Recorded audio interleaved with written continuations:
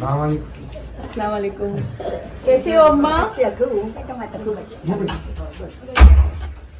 सफ़र सही रहा? हमारी मुबारक हो पाँच साल। पाँच साल कितनी जल्दी हो गया है ना? अम्मा क्या सोच रही हो? कुछ नहीं चुप चुप हो गई क्यों चुप चुप हो गई? का करो हैं बोलो मस्ती करो। तो बहुत खुशी लगा थी आए से। हाँ क्या खुशी लग रही है? हाँ बहुत। एक बात सुन मुझे खुशी लागी। क्या?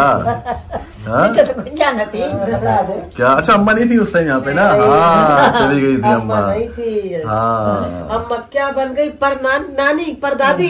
पर पर नानी। पर नानी। नानी की नानी। मैंने जस के सुनो जस के मैंने तुरंत पाँच छह सौ की मिठाई बांटी मीटिंग कराओ मैंने हाँ मैंने हाँ, करिए से मंगवाए थे मैंने हाँ सबका कवाए तो मीट मुँह कराओ तो मैंने सबका बहुत खुशी लागती मुझे भैया।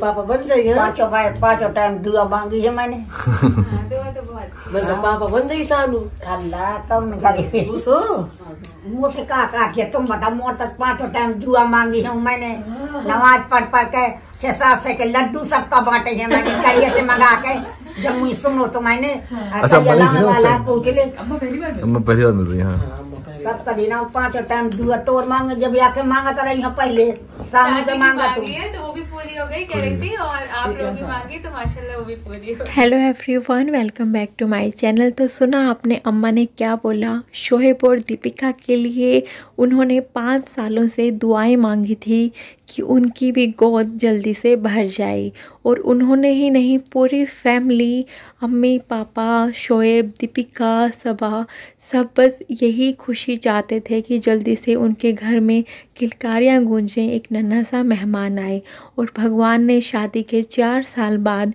ये दुआ कबूल की।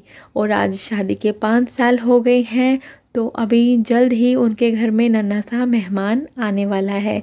आप भी उनकी खुशियों में शरीक हो सकते हैं। बस वीडियो को लाइक करिए, चैनल को सब्सक्राइब करिए। आपको हम हर एक अपडेट देते रहेंगे। तब तक के लिए अपना ख्याल रखिए।